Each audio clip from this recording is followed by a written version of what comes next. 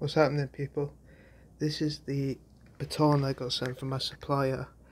Um, I actually got refunded from it because it took like three months to come, but that's okay because I got it for free.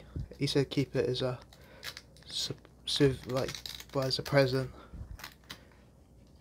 It came in a hard box, but this is a really good one. It also came with a little end, which I'll get to in a minute. I put the glass breaking end on. You see that? Or you can have it flat.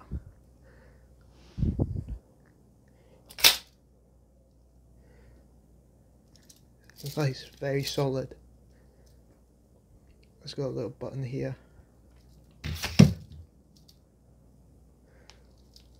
And you get this little, quite cheap, but little thing to put on a belt. It's quality, a little bit of kit. I might have more in the future now that the postal service is, you know, sort of back to normal. I might have some more of these. I've got scales and stuff coming, so yeah, let me know, people.